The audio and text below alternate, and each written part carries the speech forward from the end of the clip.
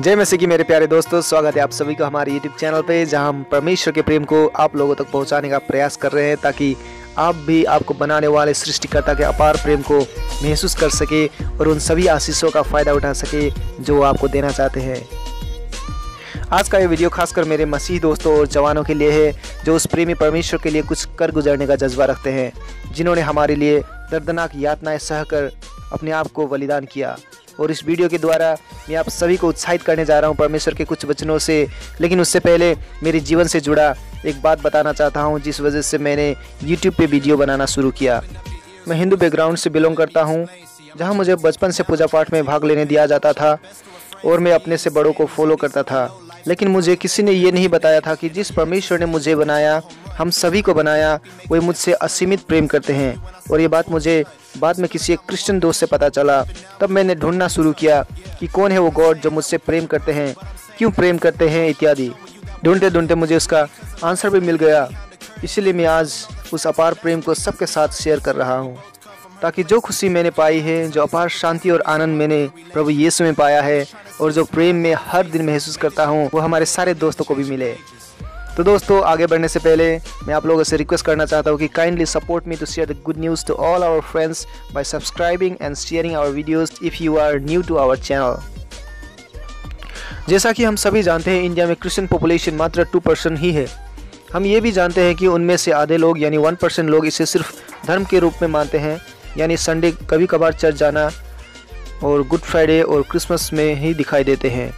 और जो one percent लोग हैं उनमें से आधे लोग झूठे शिक्षा के शिकार हैं जो सही रूप से बाइबल ना पढ़ने का नतीजा है और जो शेष 0.5 परसेंट लोग हैं, उनमें से कई अपनी बुलाहट यानी गॉड्स कॉलिंग को जानते हुए भी इस संसार के समस्याओं में उलझे हुए हैं और जो सीरियसली डिसाइपल बनकर आगे बढ़ रहे हैं, उन्हें भी अपने लोगों से सही सपोर्ट नहीं मिल पा रहा है। इसलिए मेरे मसीह दोस्तों, समय आ गया है खुद को पहचानने का, अपने जीवन में परमेश्वर की बुलाहट को लेकर सीरियस होने का और किसी एक चर्च के साधारण मेंबर बनने के बजाय उनका सच्चा चेला बनने का। दोस्तों, परमेश्वर की बुलाहट अनुसार हम सभी आत्मिक योद्धा है, जिसे अंधकार की शक्तियों के विरुद्ध लड़ने के लिए बुलाया गया है। We are the warriors of the living God जीवित परमेश्वर के आर्मी है हम। जो 24/7 अपना ड्यूटी करते हैं। लेकिन अगर हम अपनी बुलाहट को सीरियसली नहीं लेते हैं तो हम भूल जाते हैं कि हम कौन हैं और तब हमारा शत्रु हमें हर दिन आसानी से हराते रहता है। जिस प्रकार आर्मी में बहुत सारे रैंक होते हैं, उदाहरण कुक बार्बर या सिपाही, lance naik naik havildar, naik subedar subedar subedar major, lieutenant और कैप्टन इत्यादि। और जो आर्मी अपने देश के लिए कुछ कर गुजरने का जज्बा रखते हैं, वो खुद को इतना ट्रेन करते हैं कि प्रमोशन लेते लेते एक दिन मेजर या कैप्टन बन जाते हैं और जो खुद को नहीं पहचानते, वो सिपाही में ही रिटायर्ड हो जाते हैं। उसी प्रकार अगर हम मसीही लोग एक वॉरियर होकर खुद को नहीं पहचानेंगे और खुद को ट्रेन नहीं करेंगे, यानी बाइबल स्टडी करके काबिल नहीं बनाएँगे तो हम भी सिपाही से कभी मेजर नहीं बन पाएँगे, यानी एक साधारण चर्च मेंबर से ट्रू डिसाइपल नहीं बन पाएँगे। तो दोस्तों, जांचिए अपने आप को कि किस रैंक के आदमी हो आप और कितने साल से उसी रैंक में हो। आपका प्रमोशन हो रहा है या नहीं? मतलब आप आत्मिकी क्षेत्र में बढ़ रहे हो या नहीं। अगर आत्मिकी वृद्धि हो रही है तो बधाई हो आपको। मेरी भी यही दुआ है कि हर जवान जिसको प्रभु ने चुना है, ज्ञान और बुद्धि में और जोश में बढ़ता जाए और अंधकार के शक्तियों को नाश करता जाए। और अगर आत्मिक वृद्धि नहीं हो रही है तो मैं आज आपको मदद करने वाला हूँ, ताकि हम प्रभु में साथ साथ आगे बढ़ सके। इसके पहले आइए एक छोटा सा टेस्ट करते हैं। हम सुबह से लेकर रात तक कितनी बार खाना खाते हैं? दो या तीन बार पेट भरकर खाना फिर बीच बीच में चाय, बिस्किट्स आदि, यानी दिन भर कुछ ना कुछ मुँह में ठूसते ही रहते हैं, बोले तो शरीर को खिलाते ही रहते हैं। इसलिए शरीर भी मोटा तगड़ा हो जाता है। लेकिन हम आत्मा को कितनी बार खिलाते हैं उसका भोजन, जो है Bible study prayer and fasting दिन में एक बार, पाँच बार, या हफ़्ते में एक बार संडे को वो भी दो घंटे। दोस्तों, इस टेस्ट से हमें यह दमदार रिज़ल्ट मिला है। कि शरीर को खिलाने पर शारीरिक वृद्धि होती है और शरीर हमें यूज़ करने लगता है। जैसे कि आलसी होना, नींद लगना, शारीरिक अभिलाषाओं यानी फ्लैशली डिजायर्स के शिकार होना इत्यादि। ठीक उसी प्रकार आत्मा को खिलाने पर आत्मिक वृद्धि होती है और तब पवित्र आत्मा हमें यूज़ करते हैं और हम पाप के ऊपर विजय प्राप्त करते हैं।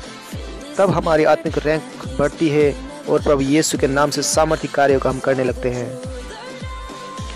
दोस्तों, जिस प्रकार एक फौजी को ट्रेनिंग की ज़रूरत होती है, हमें भी यानी स्पिरिचुअल वॉरियर्स को भी बाइबल ट्रेनिंग की ज़रूरत पड़ती है, ताकि हम अपना फाउंडेशन मज़बूत बना सके।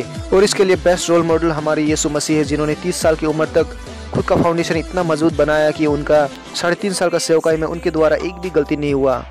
और सेवकाई स्टार्ट करने से पहले प्रभु होते हुए भी उन्होंने परमेश्वर पिता से पवित्र आत्मा का अभिषेक लिया।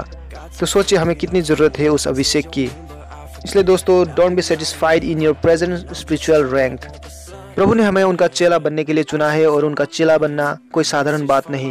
We have to pay the price अपने कंफर्ट जोन से बाहर निकलकर मूल चुकाना पड़ेगा, तभी हम उनका सच्चा चेला बन पाएँगे। बहुत हो गया शैतान के साथ पीस ट्रीटी जहाँ हमने कहा, तुम मेरा कुछ मत बिगाड़ो, मैं भी तुम्हारा कुछ नहीं बिगाड़ूँगा।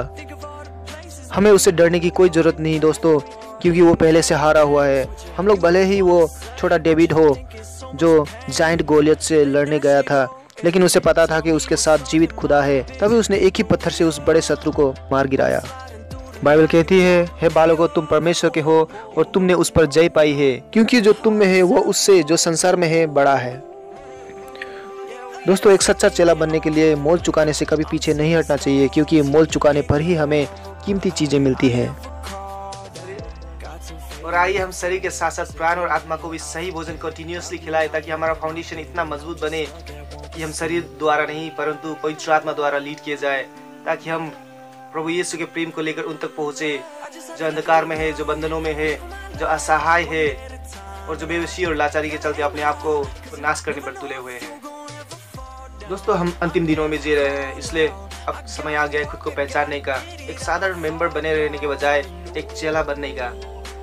अपने आप को इतना ट्रेन कीजिए ताकि आप जल उठे उस मसीह के प्रेम से और दूसरों को भी जला सके जो अंधकार में है जो असहाय है। Let's be hope to them मेरे मसीह दोस्तों ये खास करके ये वीडियो आप सभी के लिए है और उन सब के लिए जिसको प्रभु ने चुना है। अगर अच्छा लगे तो इस वीडियो को शेयर कीजिए उन सभी तक जो प्रभु के लिए कुछ कर गुजरना चाहते हैं। आइए मिलकर प्रभु का सच्चा चेला बने और प्रभु के राज्य को और आगे बढ़ाए ताकि प्रभु का राज्य धरती पे आए मिलते हैं अगले वीडियो पे तब तक के लिए bye Let's be a disciple, let's be a warrior, let's be spiritual but not be religious.